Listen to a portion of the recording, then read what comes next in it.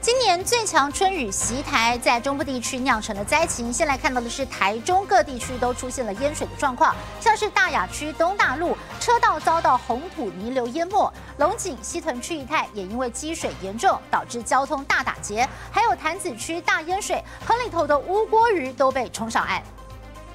女大生一个没站稳滑倒，被雨水一路冲走。红光大学校门口前强劲水势往下冲，骑机车学生无法前进，都快 hold 不住。警卫见状，连忙上前扶住车尾。沙路区滚滚泥流，水势湍急，泥水蔓延到两边道路，让人不敢再靠近。警方也派员警戒。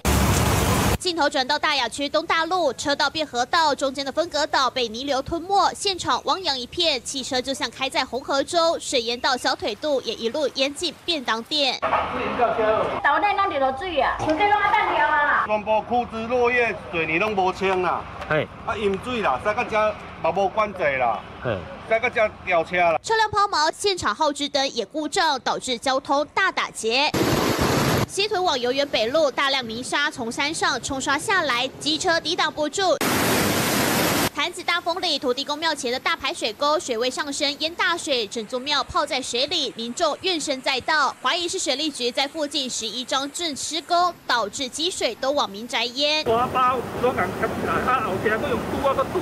程要施作，就是水道都挡住的。河水暴涨，河里的乌锅鱼被冲上岸，堆在水沟边，有的冲进菜园。今年最强春雨袭台，导致台中各地区有些路段排水不及，出现淹水状。状况也让台中各区水灾频传。正拍写林佳明吴祥三台中报道。